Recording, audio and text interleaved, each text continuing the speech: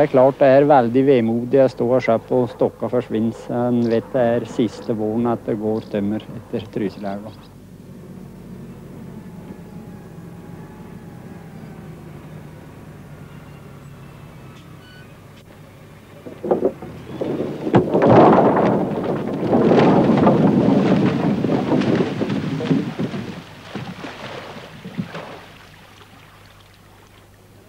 Naturligtvis så är det tråkigt att en, eh, en charmig företeelse, en historisk företeelse som flottningen innebär, att inte den kan ha en plats i en verksamhet som vi bedriver. I många år har de hanterat flottarhaken och hållit ordning på miljoner stockar från skogarna i Trysil och Ängerdal. Men efter den här sommaren, 1991, ska de skiljas från älven och timret. Flottningen ska läggas ner.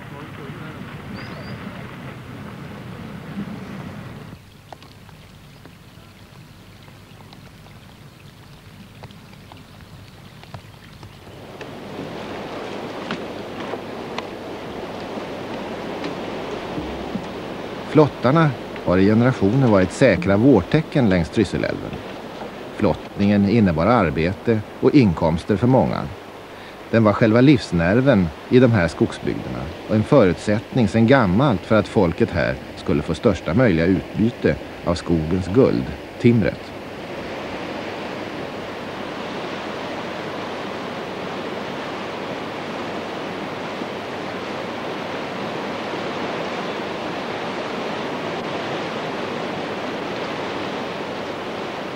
Flottaryrket kunde bjuda hårt och raskt arbete. Transporten var rationell och miljövänlig. Beslutet om att lägga ner flottningen kom kanske något överraskande hösten 1990. Ja, det var väldigt överraskande. Det trodde vi inte skulle komma nu när den pratar om miljö och det ena och det andra. Rumpa Nej,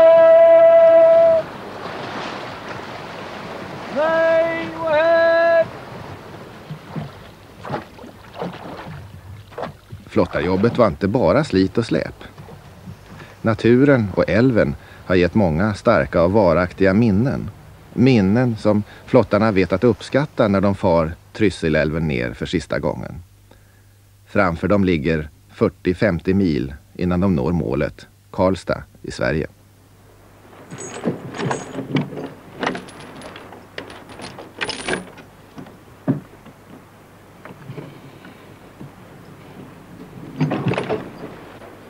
Det är maj 1991 vid Sändsjön i Tryssel.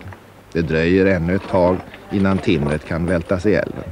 Men flottarna har arbete så det räcker.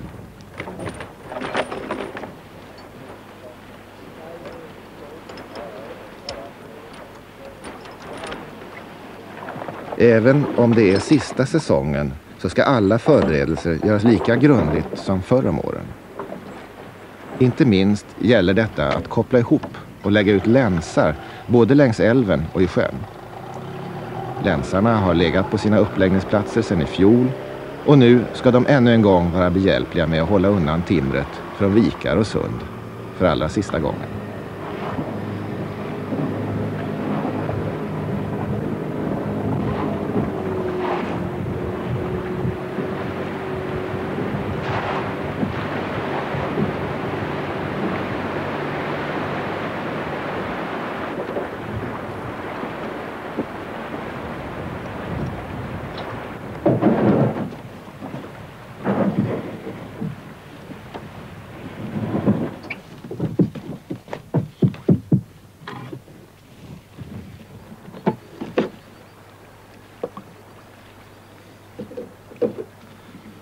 Det är ett omfattande och grundligt arbete flottarna lägger ner innan de kan svinga sig med flottarhaken längs Trysselälven. Kanske blir man allt ivrigare att få sätta igång allt eftersom våren framskrider. Ett viktigt hjälpmedel i arbetet det är det här typiska flottningsbåtarna. Snart ska de manövreras ner för älven av säkra och stadiga flottarhänder. Men innan det kommer så långt ska även de få sin välförtjänta vårrustning innan färden börjar.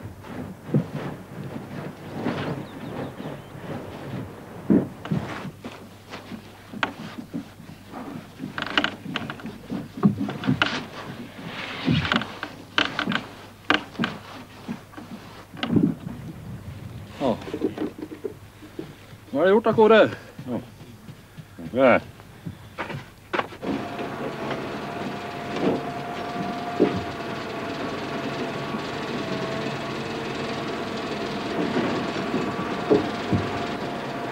Förberedelserna inför den sista flottningen har pågått i flera månader. På många ställen har barkmaskiner gjort sin del av jobbet.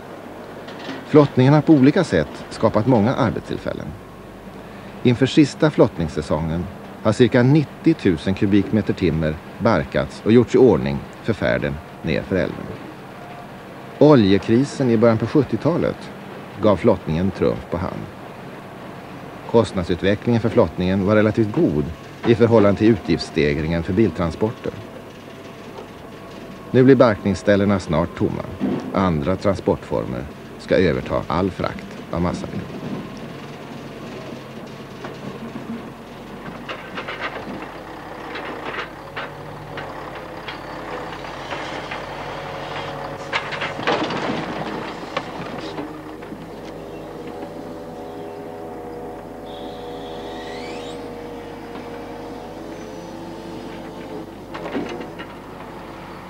Timmeråkarna är kanske den grupp som borde möta beslutet om att lägga ner flottningen med största glädje.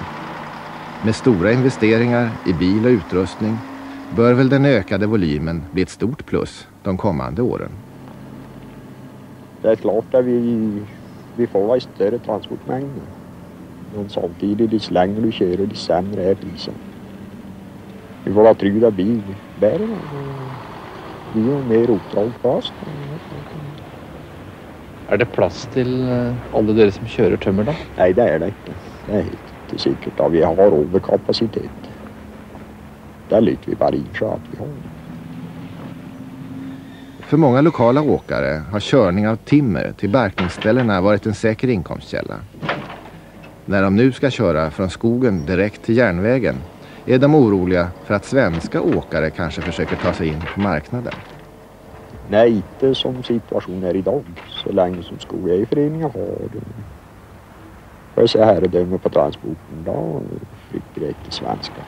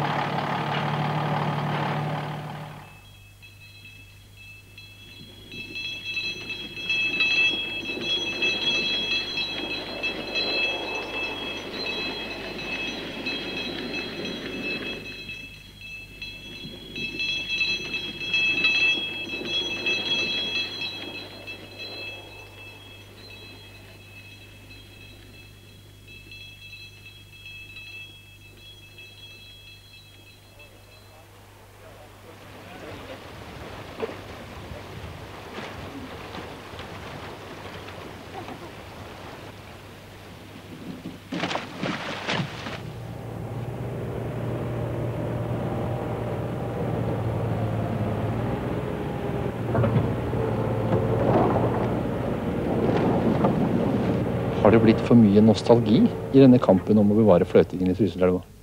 Ja, det tycker jag inte att det är. Det är i varje fall inte min och, och eh, våra anställdas uppfattning. För jag tror att hade det här gått så långt som vissa personer har, har velat driva till att man skulle ha kvar en liten volym just för att visa hur flöting går till. Jag tror inte vi går på det. Eh, vi är inte någon turistorganisation. Vi är här för att flöta virke ekonomiskt och brukbart på ett gott sätt.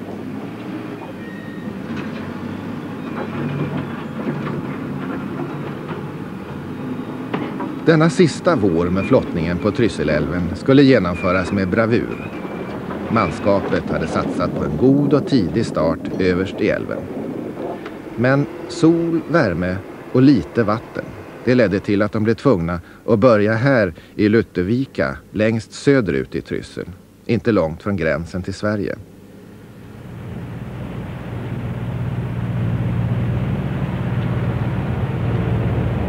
I många år har vältningsplatsen här i Röskjotta i Ängerdal varit startpunkt för flottningen. Olika maskiner har sett till att miljoner stockar har fått hjälp med att komma igång med dansen nedför älven.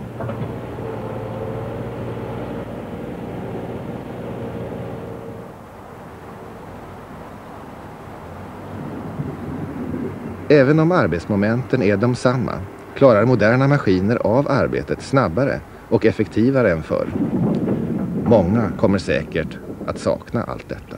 Nei, jeg synes det er sørgelig at det skal bli nedlagt, men eh, det for de store bolagene som bestemmer. Er det vemodig, syns du nå, at eh, det er slutt? Ja, for vi er det det. Det, det verste er da at det går tapt en del arbeidsplasser. Hva har eh, fløteryrket betydd for deg, da? Ja, det har da vært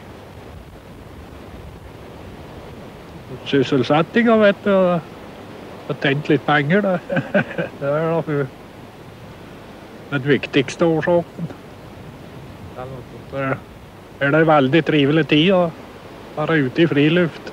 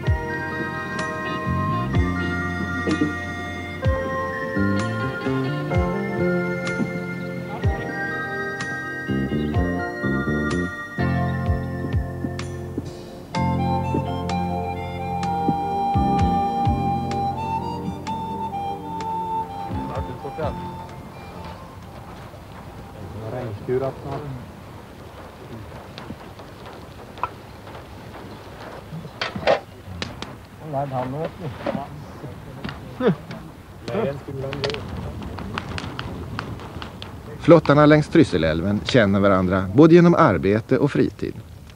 De har en unik gemenskap genom sin speciella arbetsplats och ett yrke de nog kommer att sakna när det nu är slut.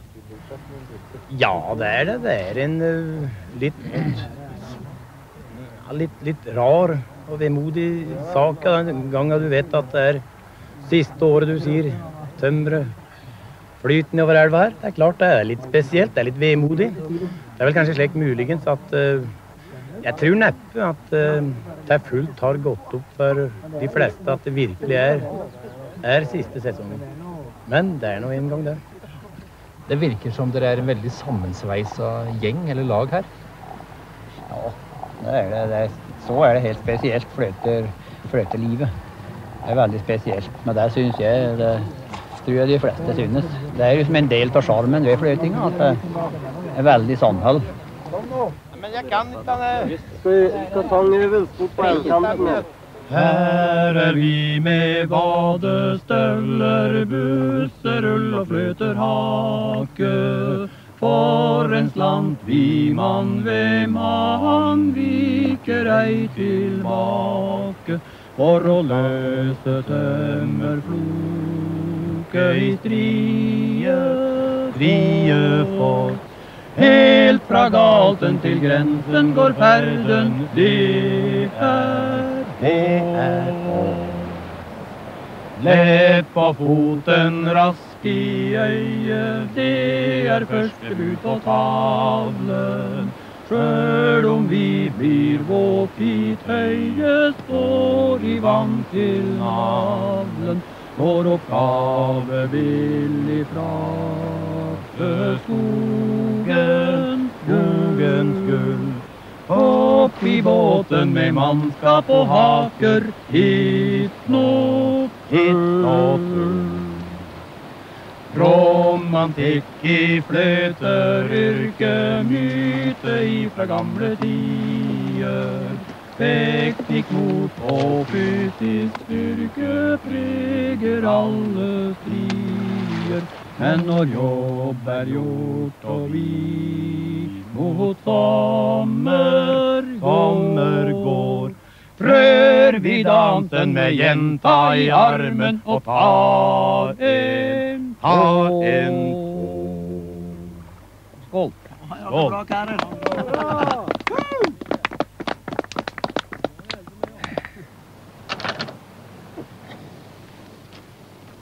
Flottningen är ett hårt och krävande arbete.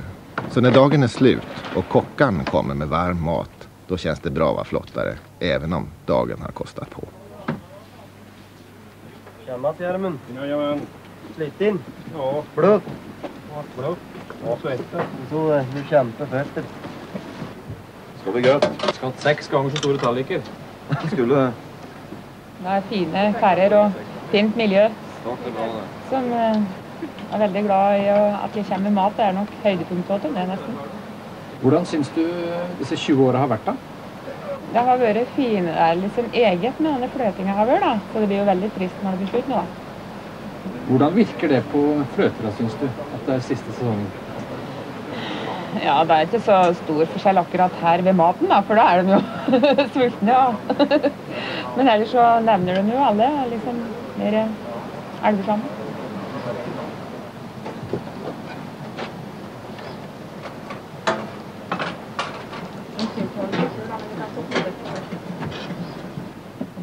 För flottarna här vid Stenbäcken i Ängerdal betyder det inte att alla sysslor är klara bara för att arbetsdagen är slut. Tuffa tag i älven gör att redskapen måste repareras och iordningställas till nästa dag. Inte minst kan flottarhakarna bli hårt åtgångna och då gäller det att kunna reparera eller skafta nytt. Andra kan koncentrera sig på mer sociala sysslor. Ja, jo. Mer elegant att ja. Nei, nei, nei, nei. Där ja. Vi har packen.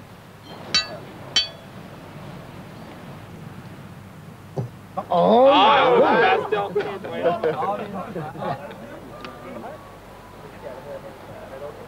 Ja, men eh, det fungerar inte helt sånt ja. Men eh, man syns på scenen att benet där. Hvor ser du deg? De har inte skött ihop detta. Så vidt du klarer å høre på det ytterste leddet. Ja, det är alene. Särskilt. Nei, det stemmer. Här utväxlar flottarna erfarenheter både från dagens arbete och tidigare händelser. Några har många år bakom sig med flottarhake och hatt. Andra har mindre erfarenhet men har i alla fall fått med sig en del på sju, åtta år. Nei, det er alltid noe nytt å lære, og det er eh, nye utfordringer hele tida. Men det er klart en del grunnregler man har lært, da. Klart. Er dere en spesiell eh, mennesketype også, dere fløtere? Nei, Jeg vil ikke kanskje si det, men vi er vel kanskje privilegert som får lov til å ha drevet med dette her. Det er da veldig få av oss nå, da. Så det er da et eh, rikt minne å ta med seg videre i alle fall. Vi er da mye en uh, arbeidskamerater fra før av. kjenner hverandre godt og jobber veldig godt i lag. Så det er da et veldig fint miljø. Blir du rik på fløte, da? Eh, Nei, det kan jeg ikke si. Vi har vel vår vanlige dagslønn, men eh, vi blir iallfall rike på minner. da. Og opplevelser. Det betyr mye det i dag. Da det er eh, mas og kjas alle steder. Kan komme oppi her og se natur og føle elva.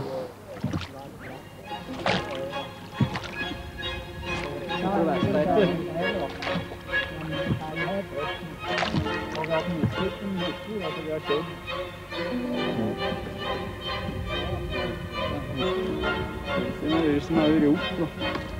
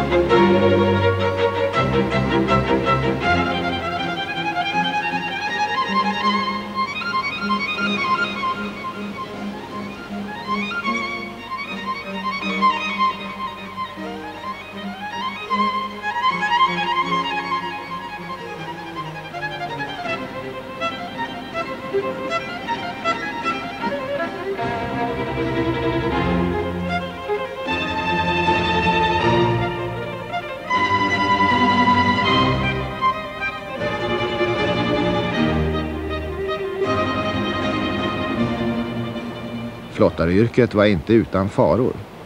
1907 drunknade tre personer av ett båtlag på fyra här vid Jordret i Trysil. Arbetet längs älven och i båtarna ställde höga krav på arbetskraften.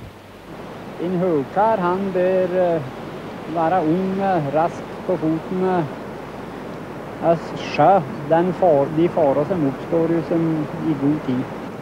För att eh, hvis det sker något på högen att en dag kan eh, komma åt båten fortast möjligt. Betyr det at det ofte kan være liten forskjell på at det går bra og at det ikke går bra? Det behöver inte vara så långt ifrån det att det går bra att det kunde, i alla fall att den kunde hamna i älva så det kunde ha varit lite kritisk. Det gäller båtkarlar så är det väldigt viktigt eh, när de ska ta en hög då speciellt att de inte placerar båten för långt undan, hökarna. För speciellt som älven har varit nu i vår att hon är i väx hela tiden lite grann. Då är som regel höga väldigt lätt att ta. De är inte säkert de behöver riva den kanske lite grann framst i huggen så smäller hela huggen i vägen. Hvis en dag har eh, båten för högt upp på huggen och då kan det bli problem för huggare nå dit.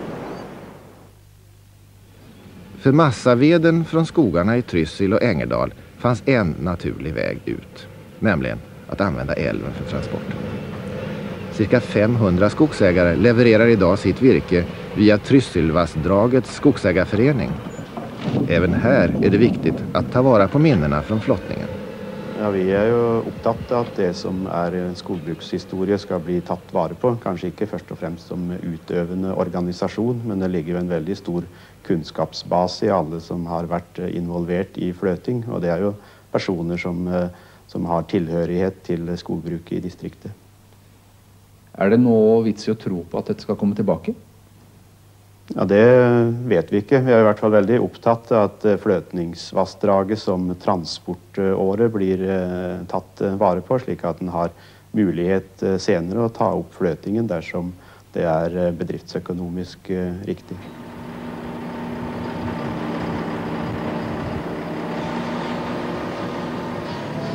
I framtiden är det detta som blir transportmetoden för massaved från Trysil och Ängerdal till Sverige. Timmerbilarna ska frakta stockarna direkt från skogen till järnvägen. Bland annat till stationen här i Älverum.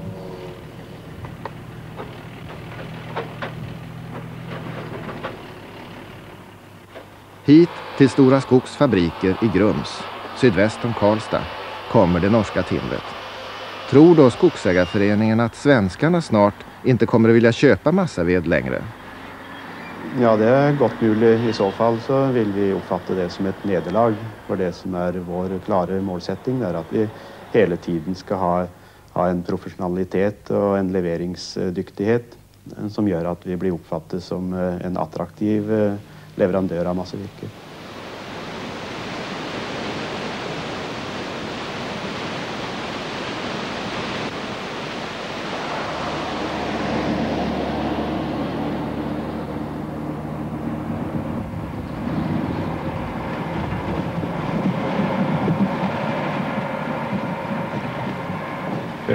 Rart. Timret blir borte fra elva. Jeg har vært vant med bestandig at kommer, da kommer timret. Så det, selv om jeg ikke bor akkurat på elvkanten, så jeg har jo inte all världens lång väg åt elva.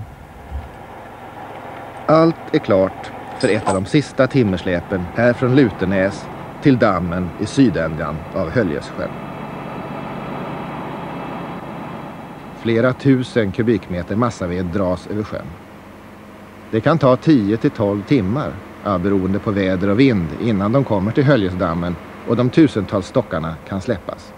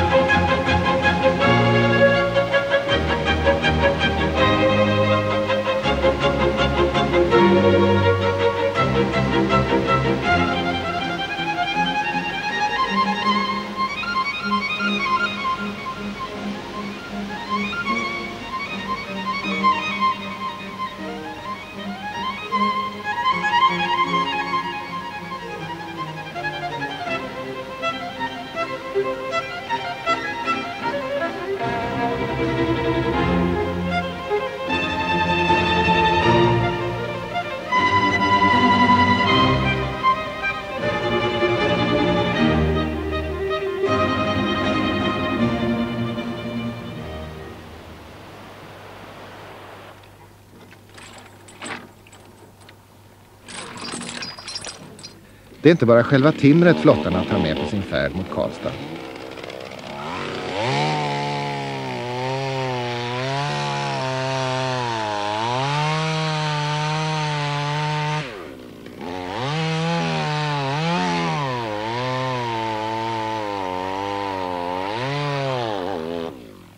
Länsarna ska heller inte användas mer.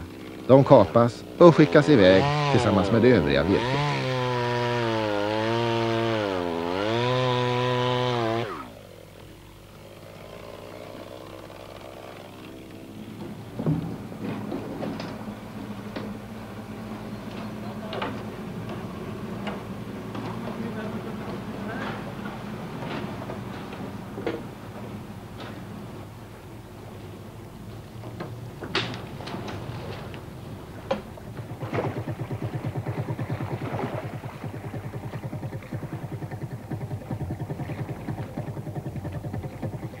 Diskussionerna om att lägga ner flottningen har pågått sedan början av 1960-talet. 1982 slog man fast att flottningen borde fortsätta. Men hösten 1990 kom beslutet om nedläggning och nu var det slut för gott. Vi har ju hört en diskussion i 30 år va, att vi slösar igen med flottningen så att eh, än så länge är det väl ingen som har tagit fram nässtycken och och, och gråter men det, det kanske blir fram på höstkanten.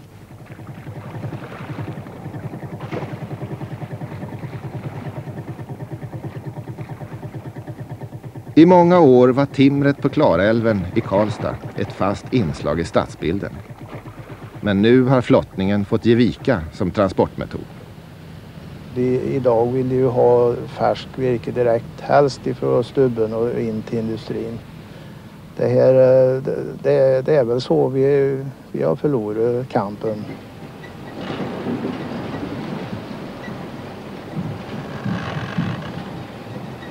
Massaveden är framme vid Stora Skogs fabrik strax utanför Karlstad. Nu ordnar stockarna de allra sista metrarna av erfaret folk från Klarälvens flottningsförening. Vid fabriken i Skoghall förbrukas varje år 1,6 miljoner kubikmeter timmer. Stora Skog lägger ner flottningen för att snabbare få timret till fabriken. Och de ska använda barken till eldning för att spara olja. Men timret från Trysil och Ängerdal kommer de att ta emot även i framtiden.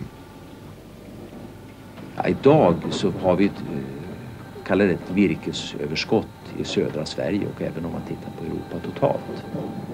Så att eh, det här virket går att skaffa på annat ställe men på lång sikt så tror jag att det här virket har sitt eh, berättigande till vår industri i Vänern.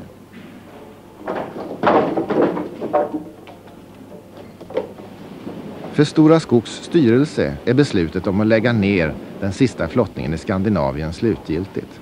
När beslutet kom 1990 på hösten protesterade man från norsk sida. En protest som Stora Skog förstår. En sån här eh, förändring som lokalt påverkar en bygd. Eh, det väcker starka känslor. Men där vill jag påstå att på det sätt som Tryselflottarna har ställt upp på sista årets flottning, det är nog alldeles enastående. Det var verkligen att köra det här med flaggan i topp in i det sista. Flottningen i Trysil, Klarälven, är historia. Ingen barkmaskin kommer någonsin igen att bryta tystnaden vid vältorna. Nu är det tid att samla intryck och minnen. Tidigare så var det väldigt fint att komma hit när slutrensen har gått. Det kändes väldigt bra för då var den här biten gjord. Va? Det var en på nyttfödelse inför nästa omgång. Det var bara att ställa i ordning, köra in nytt virke. Nu eh, vid det här tillfället så känns det väl en, en stor tomhet på något vis. Det är liksom är slut. Är du stolt av att ha varit flöter? Ja, det kan jag säga. Det är en helt annorlunda hantering och jag har varit i skogbruket eh, där jag är utdannet i olika versioner. Jag har varit på avverkning, jag har varit på skogsvård, ungskogspleje, hela den biten har jag haft om hand. Och det här vart eh, ytterligare en eh, del utav skogbruket och jag tycker att det känns väldigt skönt att ha fått vara med på det här. Det är en intressant, har varit en intressant hantering.